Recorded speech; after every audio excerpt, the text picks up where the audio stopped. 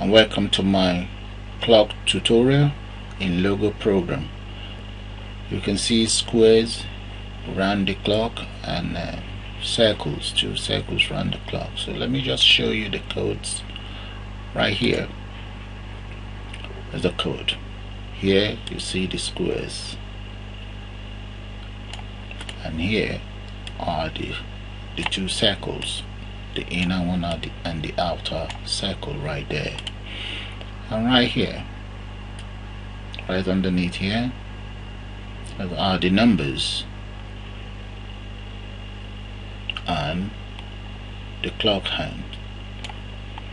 So if you guys like you can put something like this together.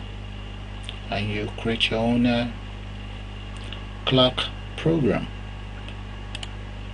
So let's go back and uh, see the program again one more time. So I'm just going to off and reset the whole thing. So let's enter clock right there and execute. There. So now you know how to create your own clock. So I'm gonna call it bye for now